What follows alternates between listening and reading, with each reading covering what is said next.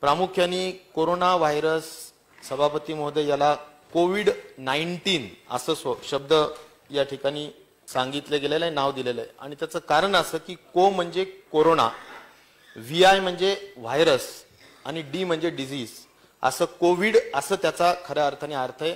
आणि नाईन्टीन मध्ये जो झाला टू थाउजंड नाईन्टीन मध्ये झाला त्यामुळे कोविड नाईन्टीन असं त्याला नाव त्या ठिकाणी दिलेलं आहे. सगळ्यात महत्त्वाचा विषय हा आहे की घाबरून जाण्याचा विषय नाही. हा मला वाटतं सगळ्यात महत्वाचं स्टेटमेंट करण्याची आवश्यकता आहे. पॅनिक होण्याची गरज नाही घाबरून जाण्याची गरज नाही. हे एअरबॉर्न डिझीज हे तर आपल्याला सर्व सर्वश्रुत आहेत. कशाने पसरला जाईल? तर सभापती महोदय आपण शिंकणे असेल खोकला असेल याच्या ड्रॉपलेट्स मधून हा खऱ्या अर्थाने पसरला जातो. म्हणजे प्रामुख्याने हवेतून जातो. आपण जर शिंकलो खोकलो आणि ते जर का जमिनीवर टेबलवर कुठेही जर असेल तर सभापती महोदय आपला कुणाचाही लागलेला त्याला हात असेल तो हात आपल्या तोंडाशी लागला अंग अंगाशी लागला तरी सुद्धा सभापती महोदय किंवा आपण हात शेक हँड जरी केला तरी तो जर का बाधित रुग्णाशी आपण शेक हँड केलेला असेल तर त्यामधून तो प्रच- प्रसार होऊ शकतो.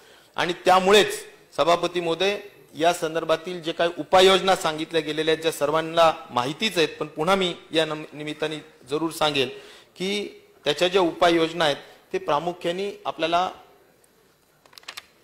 हायजीन म्हणजे स्वच्छता आणि दुसरा महत्त्वाचा विषय आहे की त्याला त्या सर्व या सगळ्या संदर्भाने आपण prevention is better than cure आपण म्हणतो त्या दृष्टिकोनातून आपण काही रेस्पिरेटरी एटिकेट्स म्हणजे जे काही खोकला सर्दी या संदर्भातले जे आपले एटिकेट्स आहेत की आपण रुमाल लावून खोकला पाहिजे खोकला केला पाहिजे किंवा सर्दी झाली तर रुमाल लावून या पद्धतीनं केलं पाहिजे. अनेक लोक वेबसाईट सोशल मीडियाचा खऱ्या अर्थाने गैरवापर करून कोणी म्हणतं मटन खाऊ नये कोणी म्हणतं चिकन खाऊ नये कोणी म्हणतं वेगवेगळ्या पद्धतीनं काही भाजीपाल्यांच्या संदर्भातले उल्लेख येतात ड्रॅगन फ्रूट खाऊ नये असे वेगवेगळे वेगवेगळे आपल्याला कल्पना सुचतील त्या पद्धतीनं लोक त्या ठिकाणी सोशल मीडियावर काही गोष्टी करतायत.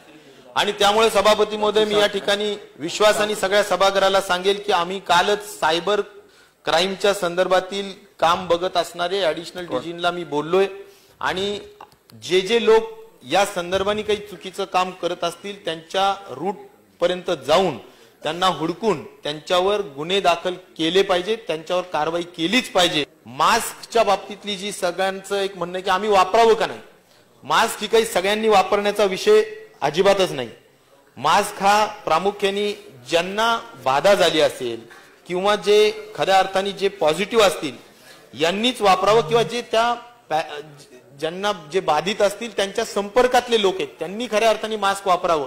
इतर सगळ्यांना माझा सल्ला आणि सूचना एवढीच आहे मला जी काही मिळालेल्या माहितीच्या अनुषंगाने की आपला स्वच्छ रुमाल ठेवून जे काही मास्कच्या ऐवजी तो रोज धुवावा आणि तो वापरून शिंकण्याची क्रिया आणि खोकण्याची क्रिया करण्याचं काम करावं असं मला या निमित्ताने सांगायचं. आणि एन नाईन्टी फाईव्ह मास्क तर आपल्या अजिबात विषयाचा नाहीये. ते हॉस्पिटलच्या संदर्भात जे काम करणारे स्टाफ आहेत त्यांनीच वापरण्याचा विषय. ट्रिपल लेअर मास्क हा सुद्धा जे बाधित झालेले लोक आहेत रुग्ण आहेत त्यांनाच वापरण्याचा विषय किंवा त्यांच्याशी संपर्कात असणारे लोक.